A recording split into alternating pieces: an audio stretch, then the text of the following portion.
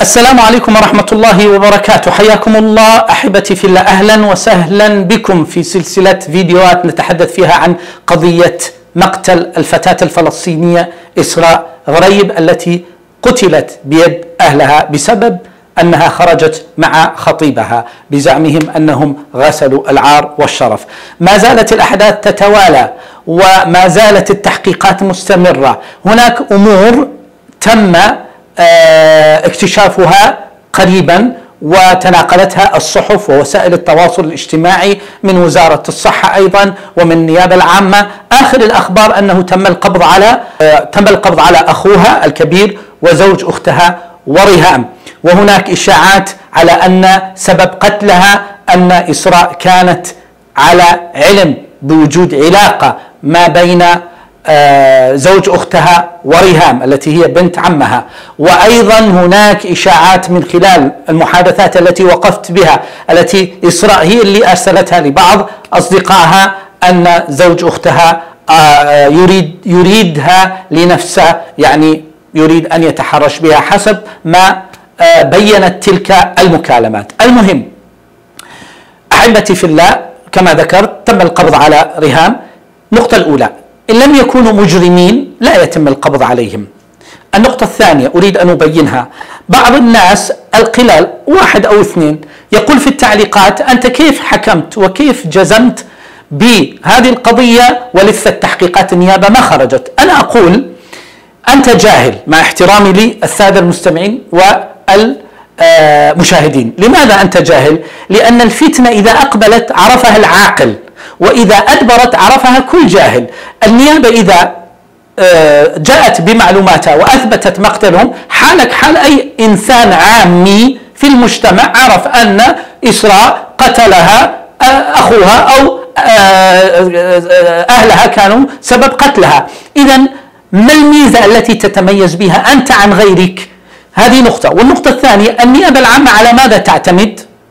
هل ينزل من السماء معلومات خاصة للنيابة. النيابة تعتمد على القرائن تعتمد على الأدلة تعتمد على الصوتيات اللي انتشرت واللي أنا تابعتها وسمعتها. المحادثات آه، تحقق مع المتهمين. إذا كلها قرائن في قرائن في قرائن. ونحن هذه القرائن رأيناها وسمعناها وشاهدناها وتابعناها من خلال الفيديوهات التي انتشرت الصوتيات التي انتشرت المحادثات التي آه، جرت. و إجحاظ كذبه أنها مصابة بالمس العاشق في فيديو خاص تكلمت كل هذه قرائن اعتمدنا عليها أن هذه البنت قتلت آه، متع يعني عمدا وقصدا وليس فيها آه، أذى من جن مس عاشق ولم آه، تلقي بنفسها من البلكونه كما زعم زوج أختها. اذا الذي يقول أنك تكلمت من غير أن يخرج أقول له هذا الكلام أعيد وأكرر أن الفتنة إذا أقبلت عرفها العاقل وإذا أدبرت عرفها كل جاهل وأنت للأسف من الجاهلين. تنظر تفتح فمك مثل القرد تنتظر ماذا يقول النيابة أو ماذا آه، تقول التحقيقات. التحقيقات ما تقول إلا تأكيدا لما آه، يجمعه من الأدلة والمستمسكات. ونحن وقفنا على إحداثيات ومجريات آه، الحادثة. حتى التسجيل الصوتي اللي انتشر اللي سجل في المستشفى سألوا الممرضة أنت لماذا آه، سجلتي الصوت بدل ما تتصلي على الأمن والشرطة يأتوا؟ قالت اعترفت أنها كانت مهددة وكانت خايفة على روحها، قالت أنا دفاعا عن نفسي على الأقل بكرة إذا صار شيء يكون عندي تسجيلات، وغيرها من الأمور اللي كان هناك تكتيم على موضوع قتلها من قبل أهل أسماء ما كانوا يريدوا المعلومات تخرج ينقلوها من مستشفى إلى مستشفى. هذا كلها قرائن من مستشفى إلى مستشفى. أدخلوها وأخرجوها. كيف تخرجون مريضة مصابة بكسر في العمود الفقري تخرج من المستشفى؟ المستشفى سألوها كيف سمحتم لها أنها تخرج؟ قالوا نحن لا ليس لدينا سلطة بإجبار المريض أن يبقى أو يخرج. طيب ما عندكم سلطة؟ لماذا؟ يعني ما شككتم أن هذه العملية ليست عملية طبيعية؟ لماذا لم تتصلوا بالشرطة؟ لماذا لم تتصلوا بالنيابة؟ والله لأن الأقوال كلها جاءت آه، مطابقة أنها سقطت من بلكونة طيب هل الأقوال المطابقة معناتها خلاص جزمتم؟ وأيضا كلام إسراء كلام إسراء قالت أنها سقطت. طيب إسراء كانت تمر في مرحلة ضغط. هي من باب أولى أن تكون مضغوطة وأن تكون آه تحت ضغط وخوف ورعب. ما تتكلم ما تقول لأن إذا تكلمت تعرض نفسها للموت كما عرضت نفسها لكسر ولتعذيب. هذه الأمور أريد من منكم أن تعوا وتفهموا حقيقة هذه الأحداث التي تحدث ويجب أن نفهمها ونتداركها قائما نكرر. لماذا نحن نهتم بهذا الأمر؟ نهتم لأنه سوف يتكرر معك ومعي ومع فلان ومع ابن عمك بنت عمك. طيب انشروا ثقافة الحق بين الناس. انشروا ثقافة الدين.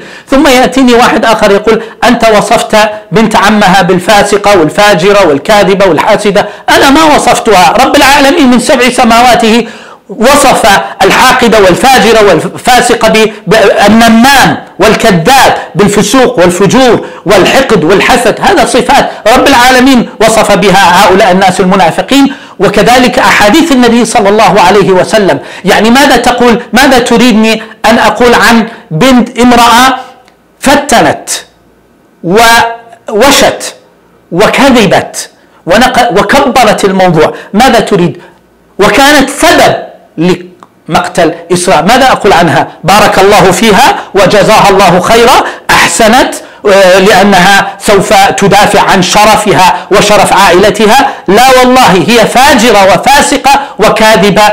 بكلام بنص رب المنافقين هذا كلامهم. وهم في الدرك الأسفل من النار. إن لم يتوبوا من هذه الجرائم اللي يرتكبونها في حق الإنسانية في حق البشرية.